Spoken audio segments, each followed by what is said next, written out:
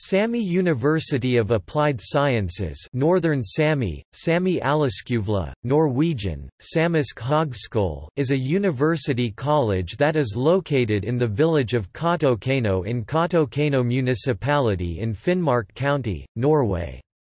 It was established in 1989 and has about 150 students and 52 faculty, technical and administrative staff. It is one of 25 Norwegian state university colleges. Since 2009 it has been located at the campus complex of Diehtosiida. Sami University of Applied Sciences has a national responsibility for Sami higher education, including education within teaching and journalism. The college attempts to develop its syllabi on the basis of Sami needs, and attempts to develop Sami as an academic language. The college has students from all four countries covered by SAPMI.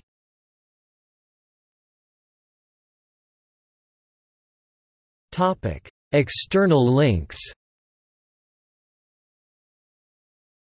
Official Sami University of Applied Sciences website